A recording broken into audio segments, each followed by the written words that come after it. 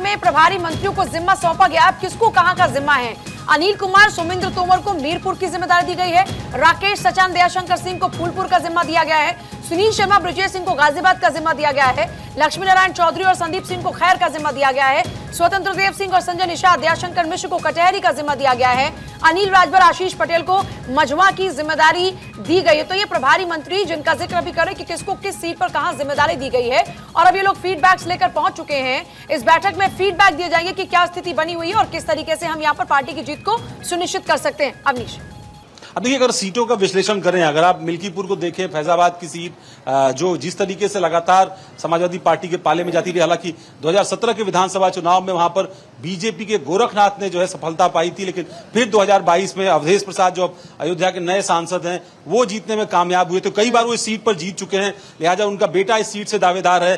फ़िलहाल इस सीट पर सूर्य प्रताप शाही, जो अयोध्या के प्रभारी मंत्री भी हैं, उनको जिम्मेदार दिया गया है, उनको ज़िम्मेदारी दी गई है। और मयंकेश्वर शरण सिंह, जो पास के अमेठी ज़िले से आते हैं उनको मंत्री हैं, उत्तर प्रदेश में स्वास्थ्य राज्य मंत्री हैं, उनको ये जिम्मा सौंपा गया उनके साथ। साथ इसी तरीके से स्वतंत्र देव सिंह, जो कुर्मी समाज से आते हैं, प्रदेश अध्यक्ष रहे कदावर नेता है पार्टी के जल शक्ति मंत्री हैं उनके जिम में सौंपा गया है आशीष पटेल को भी लगाया गया है। दरअसल ये सीट जो है वो लालजी वर्मा की सीट है। लालजी वर्मा की बेटी दावेदार है उस सीट से और ऐसे में कुर्मी मतदाताओं को कैसे वहाँ पर लामबंद किया जाए? इसीलिए जो। दोनों प्रभारी बनाए गए स्वतंत्र देव सिंह और आशीष पटेल दोनों कुर्मी समुदाय से आते हैं। एक बीजेपी की तरफ़ से एक अपना दल की तरफ़ से। तो पार्टी की कोशिश यही है कि समीकरणों को जातिगत समीकरणों को जो विपक्ष का है उसको तो ध्वस्त किया किया जाए साथ ही एक अच्छा विकल्प वहाँ पर लेकर आया जाए। फूलपुर की सीट वहाँ पर राकेश सचान और दयाशंकर सिंह को लगाया गया है।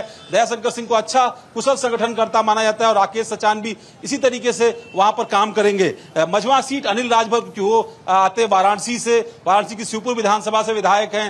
राजभर समाज में उनका अपना प्रभाव जो भी है उनको मझवा की ज़िम्मेदारी दी गई है। मझवा मिर्जापुर की सीट है जहाँ से रमेश बिंद अब जो भदोही से सांसद है बीजेपी के वो सीट खाली हुई है। बीजेपी के कोटे की सीट थी मतलब निषाद पार्टी से वहाँ पर विधायक हुआ करते थे। गाजियाबाद सदर की सीट गाजियाबाद से विधायक है सुनील शर्मा उनको वहाँ का प्रभारी बनाया गया क्योंकि अतुल गर्ग वो सांसद बन गए गाजियाबाद के। तो इसी तरीके से मीरापुर जो आरएलडी के कोटे की सीट थी चंदन चौहान वहाँ से जो है बिजनौर से सांसद हो गए हैं। तो अनिल कुमार जो कैबिनेट मंत्री एकमात्र हैं आरएलडी कोटे से उनको वहाँ पर प्रभारी बनाया गया और साथ में सोमेंद्र तोमर को लगाया गया है। खैर की सीट जो है वो लक्ष्मी नारायण को दी गई है। पश्चिमी यूपी में एक बड़ा चेहरा है बीजेपी के जाट समुदाय से। लगातार सरकार उनको मंत्री बनाते रही है। वो बीजेपी की सरकारों में भी दोनों में मंत्री रहे कैबिनेट मंत्री और बीएसपी की सरकार में भी कदावर मंत्री के तौर पर रहे। कुंदरकी की सीट जो मैं आपको कह रहा था मुरादाबाद की सीट धर्मपाल सिंह और जेपीएस राठौर को वहाँ पर जो है जिम्मेदार बनाया गया है। समीकरणों के साथ साथ एक और बात भी चल रही है जो हम लोग लगातार चर्चा में सुन रहे हैं।